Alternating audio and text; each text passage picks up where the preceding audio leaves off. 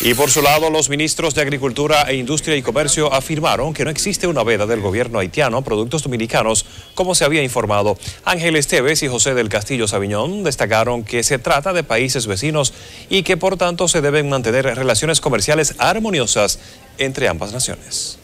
Podemos decir que ayer el mercado binacional de, en Dajabón funcionó. Tal vez no con la actividad de, siempre, porque existían los comentarios y por el proceso que se está pasando ahora, pero funcionó normal como cualquier otro día. Sí está eh, vigente la veda algunos productos, pero de todas maneras esos productos eh, se comercializan diariamente en la frontera. Yo siempre he dicho eh, que la realidad económica y comercial se impone.